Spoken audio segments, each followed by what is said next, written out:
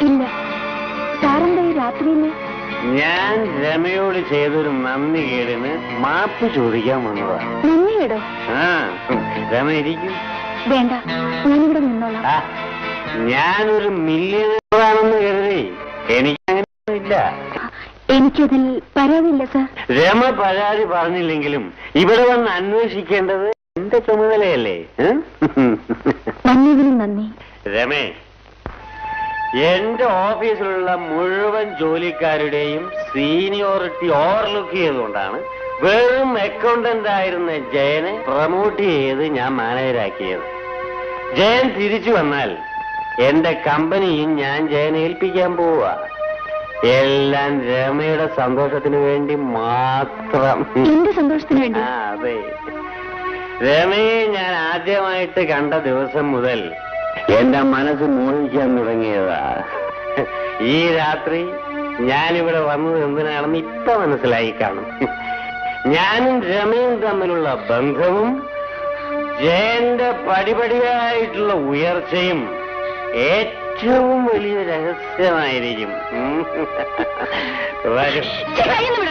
രമേ. താനെന്നെ അങ്ങനെയാണ് കരുതിയിരിക്കുന്നല്ലേ എന്നെ തനിക്ക് കാഴ്ചവെച്ച് സ്ഥാനമാനങ്ങൾ നേടാൻ നടക്കുന്നവരല്ല ജയൻ ഒന്ന് പതുക്കെ പറയും. അതൊക്കെ പറയാനോ ഞാനിപ്പോ മുകളിലുള്ളവരെ മുഴുവൻ വിളിച്ചു കൂട്ടും.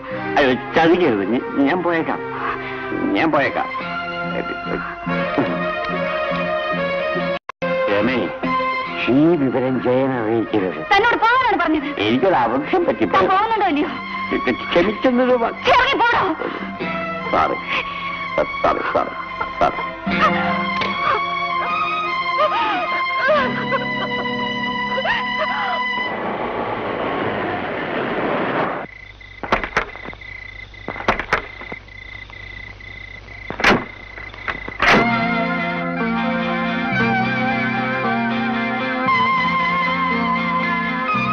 May come in yes come in ജയനോ അതെ സാർ രണ്ട് ഷിപ്പും ഹാർബർ വിട്ടു. അതാണ് ഇന്ന് തന്നെ മടങ്ങിയെത്തിയത്. വളരെ സന്തോഷം. ഏജൻസിക്കാരുടെ ചെക്കും ഡ്രാഫ്റ്റും ഒക്കെ ഇങ്ങോട്ട് ട്രാൻസ്ഫർ ചെയ്തിട്ടുണ്ട്. എല്ലാം വേണ്ടതുപോലെ ചെയ്യുമെന്നുള്ള വിശ്വാസമുള്ളതുകൊണ്ടല്ലേ ഞാൻ ജയനെ തന്നെ അങ്ങോട്ട് അയച്ചത്. ജയൻ വീട്ടിൽ പോയില്ല അല്ലേ? സാറിനെ കാണാതെ ഞാൻ എങ്ങനെ വീട്ടിലേക്ക് പോകുന്നത്? എന്താ സാർ വീട്ടിൽ വല്ല വിശേഷമുണ്ടോ? ഏ- ഏ ഒന്നുമില്ല. സാറിനെന്താ ആവപ്പാടൊരു വല്ലായ്മ പോലെ. ഏയ് പ്രത്യേകിച്ചൊന്നുമില്ല. ആ അസുഖത്തിന്റെ ഒരു ക്ഷീണം. അത്രേ ഉള്ളൂ. എന്നാ ഞാൻ വീട്ടിൽ പോയിക്കോട്ടെ സാർ? ശരി. ജയന് പണം നോ താങ്ക്സ് സാർ ഫയൽ അങ്ങനെ തന്നേക്കൂ. Good night sir. Good night. എന്നെ കുറിച്ച് രമ ജയനോട് എന്തെങ്കിലും പറഞ്ഞാൽ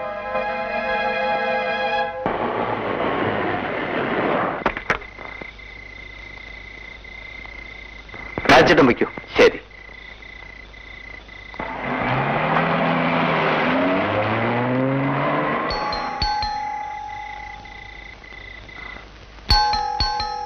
ആരത്? ഞാനാ രമേ ജയൻ. എന്താ രമേ വാതിൽ തുറക്കാൻ ഇത്ര താമസം? ഏയ് ഒന്നുമില്ല. ഓ ഞാൻ വരാൻ താമസിച്ചുള്ള പരിഭവമായിരിക്കും ശ്രീമതിക്ക് അല്ലേ?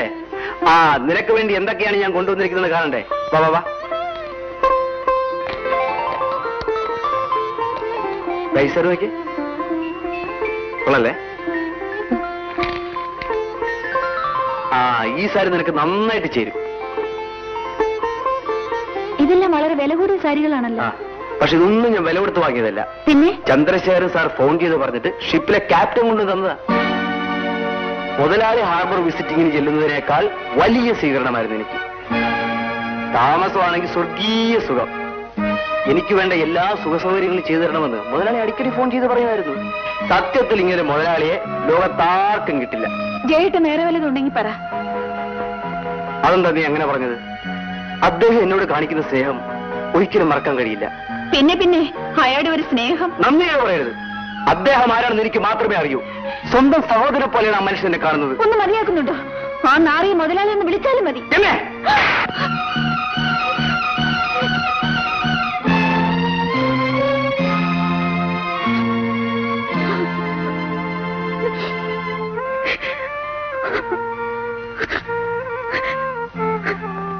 അദ്ദേഹത്തിൽ നിന്ന് നാറിയെന്ന് പറഞ്ഞുകൊണ്ട് ഞാൻ തല്ലിപ്പോയത്. നന്ദി കരുത് ഒരു അതിര് വേണം.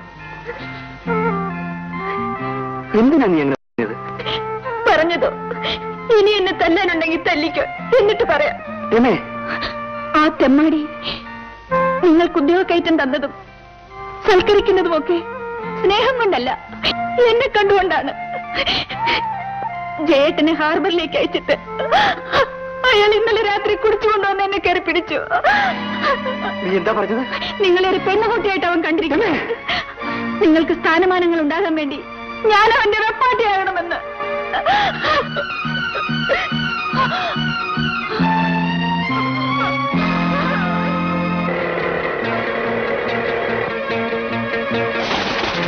സുവർണക്ഷേത്രത്തിൽ വെടി. അതേടാ. ഞാൻ തന്നെ. നീ എന്നെ മാനേജർ ആക്കിയത് എന്തിനാണെന്ന് എനിക്കിപ്പോഴാണ് മനസ്സിലായത്? നീ എന്തൊക്കെയാണ് പറയുന്നത്? നിനക്കറിയില്ലല്ലേ നീ എന്നെ ഹാർബറിലേക്ക് അയച്ചത്. നിനക്ക് യാത്ര ചെയ്യാൻ പാടാത്തല്ലോ